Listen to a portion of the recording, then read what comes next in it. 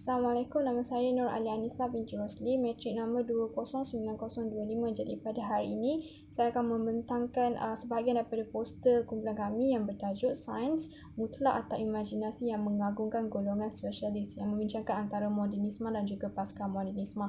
Jadi saya membentangkan maksud modernisme. Modernisme daripada perkataan moden yang boleh diterjemahkan dalam, dalam satu keadaan yang membawa kepada pendidikan barat teknologi dan juga industri manakala modernisme pula dimaksudkan kepada pengambilan idea-idea sekularisme, sosialisme dan kewujudan suasana yang elit.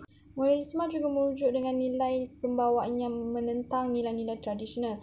Ahli falsafah Coelho juga menjelaskan bahawa modernisme ini bersifat negatif sebab dia menentang dan menolak nilai-nilai tradisional iaitu daripada pandangan-pandangan orang terdahulu. Berikutan dengan idea sekularisme, agama diakulut kerana tidak mengikuti pemodenan. Keegoan masyarakat barat pada zaman itu menjadikan mereka sibuk dalam mencari alternatif nilai agama. Sebab itu mereka menganggap agama itu kulut. Dan dari itu muncullah pelbagai kaedah ilmu yang seperti pendekatan empirikal, logikal, rasional dan juga saintifik yang sesuai dengan konsep sekular yang kini menjadi asas ilmu pengetahuan dalam kehidupan mereka. Lalu muncullah zaman Enlightenment yang berkiblatkan akal dan juga mempunyai beberapa tokoh yang menyokong idea tersebut seperti Charles Darwin, Karl Marx dan sebagainya. Berikutan dengan kemunculan uh, modernisme ini dan dapat dikesan sekitar abad 17 sekitar abad 17 selepas perjanjian dengan Westphalia sekaligus dia menamatkan peperangan selama 30 tahun. Jadi perkembangan berterusan sehingga wujudnya zaman kesedaran iaitu zaman Enlightenment lah di mana berlakunya perubahan dan revolusi yang dianggap satu kemajuan dan kepemodenan. Karl Marx merupakan tokoh yang diangkat pada zaman tersebut uh, dengan mendukung rasionalisme dan juga yang dan juga meyakini dengan nilai kebebasan dan juga kebolehan manusia. Assalamualaikum warahmatullahi wabarakatuh. Nama saya Nurin Balkis binti Muhammad Raski. Nombor metrik 206193. Hari ini saya ingin uh, membentangkan tentang pasca modernisme. Um, idealisme seperti pemikiran pasca modernisme merupakan salah satu idea yang wujud pada zaman kini. Uh, dikatakan bahawa pemikiran ini berkembang di barat sekitar tahun 1930-an dan mula tersebar pada tahun 1960-an. Antara sebab pemikiran pasca modernisme ini wujud ialah kerana penentangan terhadap pemikiran modernisme yang dikatakan lebih kepada kaedah pemerhatian dan eksperimen dalam mencapai sesuatu kebenaran. Menurut Kamus Dewan, uh, pasca bermaksud sesudah uh, selepas atau setelah manakala maksud moden pula ialah dari masa sekarang berkaitan dengan masa kini yang terbaru, cara baru dan mutakhir. Uh, menurut Dr. Zakaria Mustafa, pasca modernisme ialah fahaman yang bersifat anti agama dan anti Tuhan kerana pasca modernisme ini ialah lanjutan dan edisi yang baru kepada fahaman sekularisme barat moden. Ini dikemukakan dalam hasil kertas kerja beliau yang berjudul Revitalisasi Proses Penubuhan Akidah dalam menghadapi cabaran pasca modernisme. Pasca modernisme adalah merupakan dominasi budaya atau logik budaya kapitalisme yang bermula pada Perang Dunia Kedua. Ah, hal ini dapat dibuktikan melalui penyerapan fahaman pasca modernisme dalam pelbagai bidang ilmu yang menyebabkan berlakunya pergolakan dalam ilmu-ilmu tersebut. Malahan, uh, ilmu dianggap sebagai tunggal serta hakiki manakala uh, metafizik dan falsafah yang berkaitan dengan agama dianggap tidak relevan. Sebagai contoh, manusia uh, dianggap uh, tidak lebih daripada jasad dan uh, ianya tidak mempunyai agama. Tiada pegangan, tiada pendirian, tiada masyarakat dan menjadi subjek kepada teknologi. Seterusnya akan membentangkan asas pemikiran modernisme. Pemikiran modernisme ini bersifat positivistik yang mengagungkan keupayaan pemikiran yang rasional dan juga kebolehan manusia di mana mereka lebih mementingkan pandangan ataupun kebolehan manusia pada zaman tersebut daripada uh, pandangan ataupun uh, pandangan atau kebolehan orang-orang tradisional.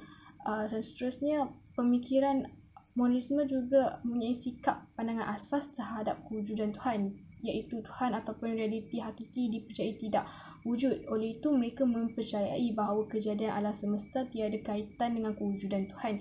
Ianya terjadi secara semula jadi dan mempunyai peraturan yang sendiri iaitu Newtonian Universe. Pemikiran mereka yang berteraskan akal, rasional dan juga pancara indera manusia yang dikatakan dapat memahami fenomena dan uh, secara alam secara autonomous. Sekali pemikiran modernisme ni menolak uh, hidup beragama dan juga kehidupan hari akhirat uh, di mana matlamat mereka hanyalah mengejar kesenangan duniawi. Dari sini kita boleh nampak lah uh, di mana dalam setiap kejayaan yang telah menjadikan mereka leka dengan tanggungjawab sebagai manusia kepada Tuhan yang Esa. Sebab itulah mereka ni menolak kehidupan beragama kerana mereka lebih cenderung untuk mengejar kesenangan uh, kesenangan duniawi sehingga mereka mengabaikan moral dan juga menolak tanggungjawab sebagai manusia kepada Tuhan. Sekian daripada pembentangan saya dan seterusnya saya akan serahkan pembentangan kepada ahli kumpulan yang seterusnya. Terima kasih.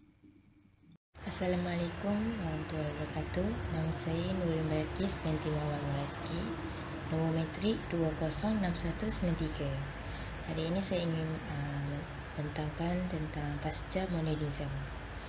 Um, untuk pengenalan, uh, idealism seperti pasca modernism merupakan salah satu idea yang wujud pada zaman kini. Dikatakan bahawa pemikiran ini berkembang di barat pada sekitar tahun 1930-an dan mula tersebar pada sekitar pada tahun 1960-an. Uh, antara sebab pemikiran pasca modernisme ini wujud ialah kerana uh, penentangan terhadap pemikiran modernisme yang dikatakan lebih kepada kaedah pemerhatian dan eksperimen dalam mencapai sesuatu kebenaran. Secara umumnya, uh, pemikiran pasca modernisme ini diperkenalkan melalui penulisan buku pada zaman kesedaran di Eropah. Ah, di mana ketika itu kesedaran mereka terhadap kepentingan ilmu baru muncul dan pada masa yang sama juga mereka mengalami revolusi perindustrian yang bercirikan kapitalisme. Sebagai contoh, karya bagi penulis Belanda iaitu Federico Dionis yang berkembang dan yang bertajuk Antologia di la Poesia Hispanola uh, Hispano-Americana pada tahun 1934. Pemikiran pasca modernisme ini telah berkembang pesat ekoran kerana kemunculan pemikir-pemikir barat lain seperti Jean Francois Lyotard, Habermas, Jacques Derrida, Michael Foucault dan Jean Baudrillard pada awal kemunculan pemikiran pasca modernisme ini ia telah dilihat sebagai satu pemikiran yang sangat negatif kerana ia menyebabkan kekeliruan ramai pihak. Akan tetapi, ia telah menyerap masuk dan mencabar pelbagai bidang ilmu seperti ilmu keagamaan, kesenian, pendidikan, kebudayaan dan kesusasteraan. Boleh dikatakan bahawa pemikiran pasca modernisme ini telah wujud dan dapat dikesan melalui tiga istilah-istilah iaitu pasca structuralism, pasca modernism dan pasca modernism budaya. Um, istilah-istilah ini dibicarakan oleh Christopher Norris dalam bukunya yang bertajuk The Truth About Postmodernism pada tahun 1996. Pertama, istilah pasca structuralism ini merujuk kepada pemikiran yang muncul selepas kemunculan teori structuralism. Ramai pihak menyuarakan pendapat mereka secara lantang bahawa structuralism telah mula hilang kekuasaannya. Pihak ini terdiri daripada sebahagian tiga tokoh besar dan merupakan ahli falsafah Perancis yang bertaraf antarabangsa iaitu Derrida, Foucault dan Lyotard. Disebabkan timbulnya penentangan terhadap teori structuralism maka bermulalah zaman pasca structuralism itu. Seterusnya istilah modernism pula sering dikaitkan dengan beberapa ilmu sosial dan merupakan asas pada dunia industri yang lebih canggih. Golongan ahli pemikir seperti Alan Toffler, Daniel Bell dan Alan Turing telah memperkenalkan dan cuba menyebarkan istilah pasca modernism itu dengan melalui hujah mereka. Mereka berhujah bahawa dunia telah memasuki fasa baru iaitu zaman pasca industri dan menyatakan istilah pasca modernism ini seperti sesuatu yang baru dan tidak mudah diterima dengan mudah. Istilah pasca modernism budaya merujuk kepada istilah yang berkonsepkan budaya. Budaya yang diperkatakan ialah um, berkaitan dengan konsep keindahan seni. Contohnya, kreasi sifat-sifat kemujaraban dan abstrak dalam seni lukis dan seni arkitektur.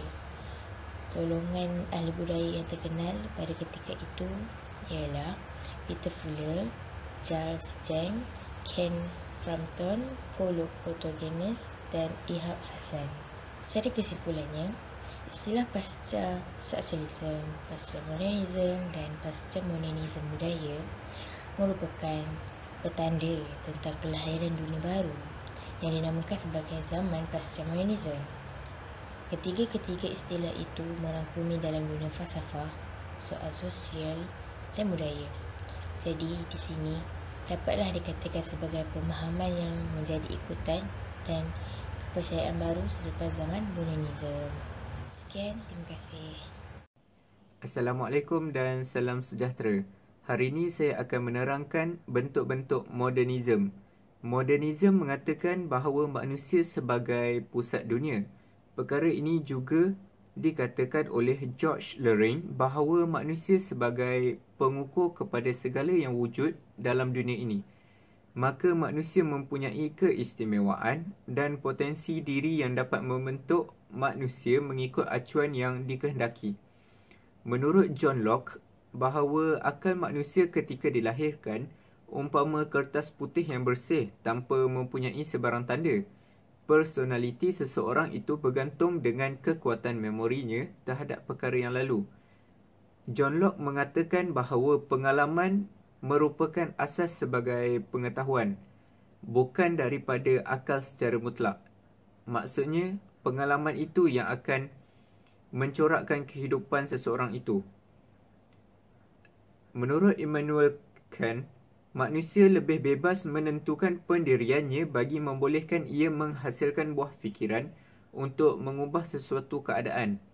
Berdasarkan Immanuel Kant, kita dapat dapat ambil ambil point bahawa manusia ini bebas dan tidak terikat dengan agama serta boleh mencipta pelbagai budaya dalam menghasilkan atau menghasilkan atau mengubah buah fikiran untuk menjalankan kehidupan seharian kita.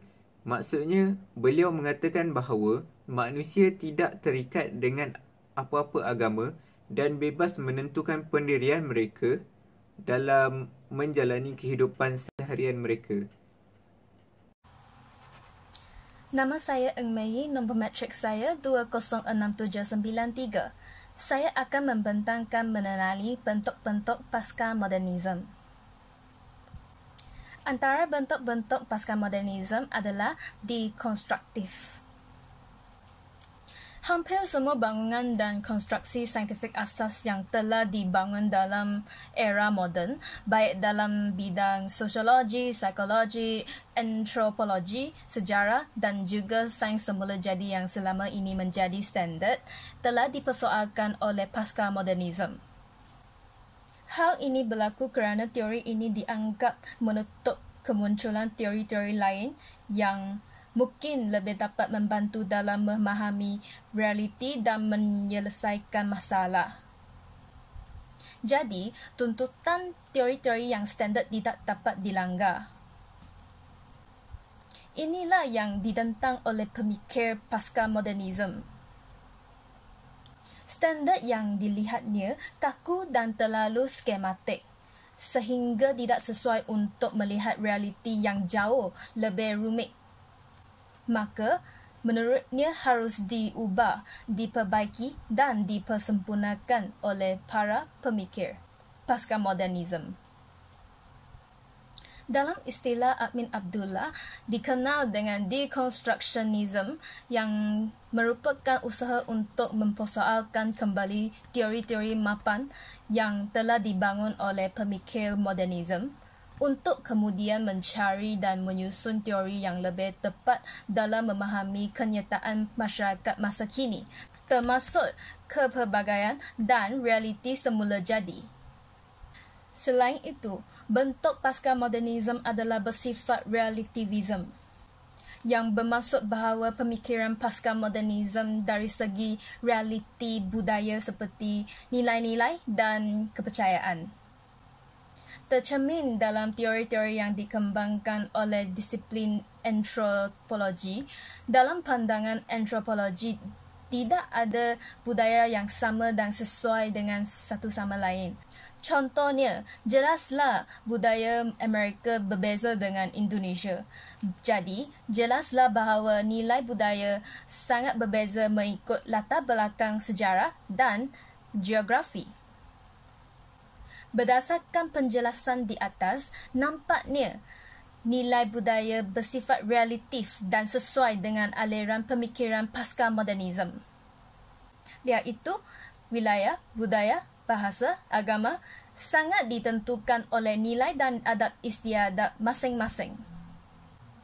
Jelaslah bahawa para pemikir pasca modernisme berpendapat bahawa semuanya bersifat relatif dan tidak boleh mutlak. Kerana mereka harus mempertimbangkan situasi dan keadaan yang ada sekarang. Seterusnya, bentuk pasca modernisme yang bersifat relatif. Tidak ada ilmu pengetahuan yang kebenaran mutlak. Melihat sesuatu peristiwa tertentu sama ada anda mahu menilai itu mesti dilihat dari semua segi dan aspek bukan sahaja fokus pada satu aspek tertentu. Akhir sekali, pluralism adalah bentuk pasca modernisme. Hasil teknologi moden dalam bidang pengangkutan dan komunikasi menjadi era pluralisme budaya dan agama lebih dihargai dan difahami oleh banyak orang di mana-mana sahaja mereka berada. Kewujudan pluralisme budaya, agama, negara, bangsa, ekonomi, sosial, etnik, pendidikan, sains, politik adalah kenyataan. Ini bermaksud bahawa ia bertoleransi dengan kepelbagaian pemikiran, peradaban, agama dan budaya. Untuk mewujudkan kewujudan heterogen, bermacam-macam bukan homogen. Kepelbagaian ini mesti ditoleransi antara satu sama lain untuk tidak menjatuhkan satu sama lain terutamanya sehingga berlaku konflik tertentu. Hari ini saya akan menerangkan serba sedikit mengenai tokoh-tokoh modernisme. Terdapat beberapa tokoh-tokoh modernisme yang terkenal. Salah satunya ialah Immanuel Kant. Beliau lahir pada tahun 1724 dan meninggal pada tahun 1804. Beliau merupakan tokoh utama dalam falsafah moden. Beliau merupakan ahli falsafah Jerman yang karyanya komprehensif dan sistematik dalam bidang epistemologi, etika dan estetika dan karya beliau sangat berpengaruh terutamanya dalam aliran Kantianism dan Idealism. Beliau mensin beliau mensintesis aliran rationalism dan empiricism moden awal dan menetapkan beberapa syarat untuk falsafah-falsafah pada abad ke-19 dan ke-20 dan terus memberikan pengaruh yang signifikan kepada hari ini dalam bidang metafizik, epistemologi, etika, falsafah politik, estetika dan bidang lain. Seterusnya kita pergi kepada tokoh falsafah modernisme yang kedua iaitu David Hume. Beliau dilahirkan pada tahun 1711 di Scotland dan meninggal pada tahun 1776. Beliau merupakan ahli falsafah, ahli sejarah, ahli ekonomi dan penulis esei Scotland yang terkenal terutamanya kerana penulisan empiricism dan skepticism falsafahnya. Hume menganggap falsafah sebagai induktif iaitu sains eksperimen kepada sifat manusia. Beliau mengambil kaedah saintifik ahli fizik seperti Isaac Newton sebagai model dan membangunkan epistemologi ahli falsafah Inggeris John Locke. Hume cuba untuk menerangkan bagaimana akal berfungsi dalam memperoleh apa yang disebut sebagai ilmu pengetahuan. Beliau menyimpulkan bahawa tiada teori realiti yang mungkin dan tidak ada pengetahuan tentang apa-apa di luar daripada pengalaman seseorang walaupun terdapat kesan berterusan dari teori pengetahuannya, Hume nampaknya menganggap dirinya sebagai seorang yang moralis. Seterusnya kita pergi kepada tok Seterusnya kita pergi kepada tokoh falsafah modernisme yang ketiga iaitu John Locke. Beliau lahir pada tahun 1632 di England dan meninggal pada tahun 1704 beliau merupakan antara ahli falsafah politik yang berpengaruh pada era modernisme. Beliau merupakan ahli falsafah Inggeris yang karyanya tertumpu kepada landasan empiricism, falsafah moden dan liberalism politik. Beliau merupakan inspirasi kedua pencerahan Eropah dan Perlembagaan Amerika Syarikat kerana pemikiran falsafahnya yang hampir dengan pemikiran pengasas sains moden terutamanya Robert Ball, Isaac Newton dan anggota Royal Society yang lain. Pemikiran politiknya didasarkan pada konsep kontrak sosial antara warga negara dan pentingnya toleransi terutama dalam hal agama. Sebahagian besar dari apa yang dianjurkannya dalam dunia politik diterima di England setelah revolusi gemilang tahun 1688 hingga 1689 dan di Amerika Syarikat setelah pengisytiharan kemerdekaan negara itu pada tahun 1776.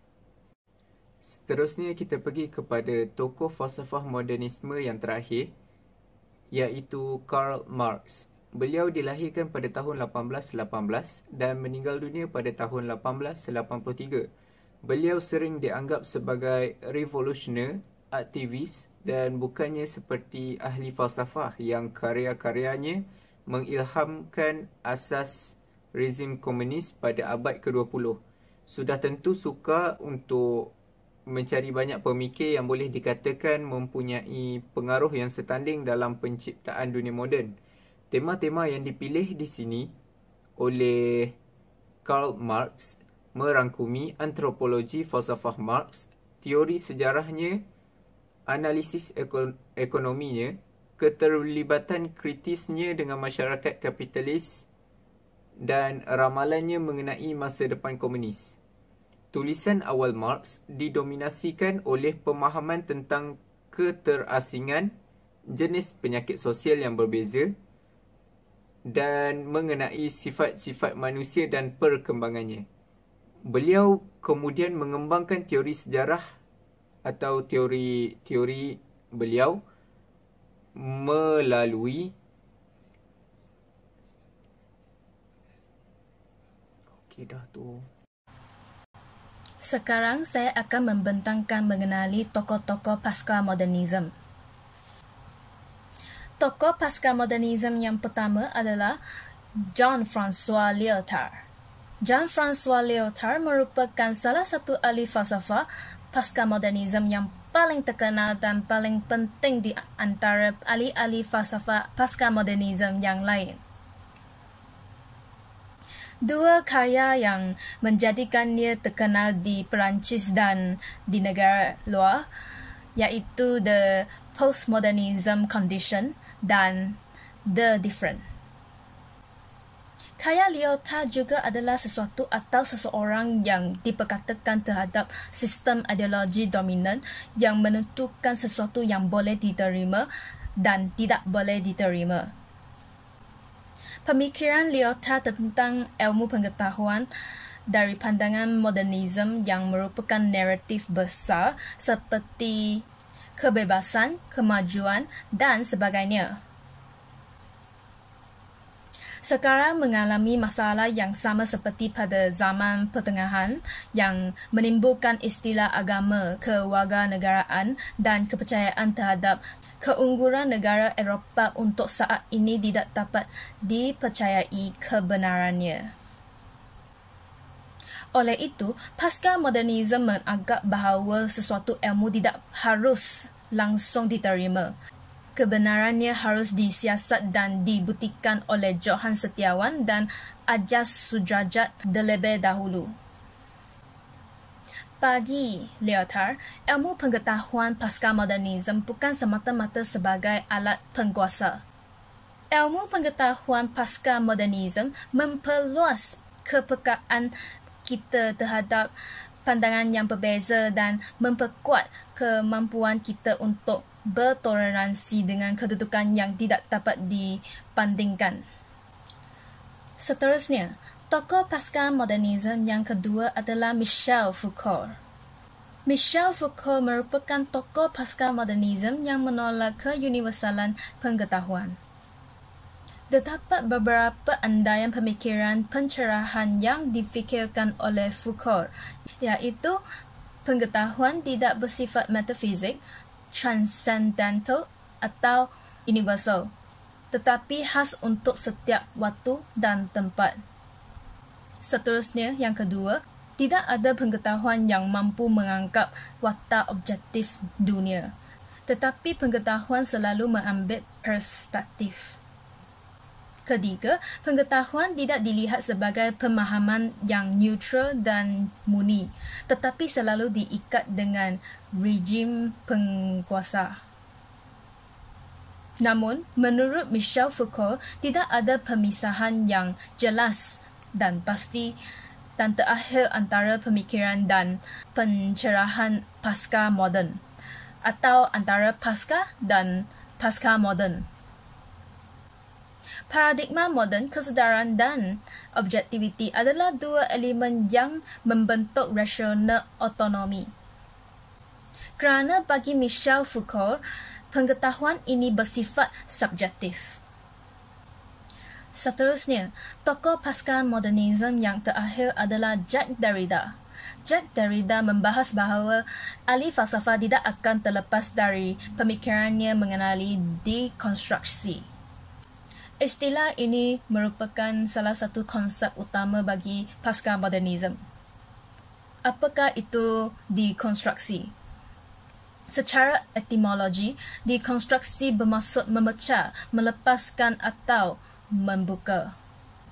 Derrida mencipta pemikiran dekonstruksi yang merupakan salah satu kunci pemikiran pasca modernisme yang cuba menyumbang kepada teori pengetahuan yang dianggap sangat kaku dan kebenarannya tidak dapat dipertikaikan dalam pemikiran modernisme.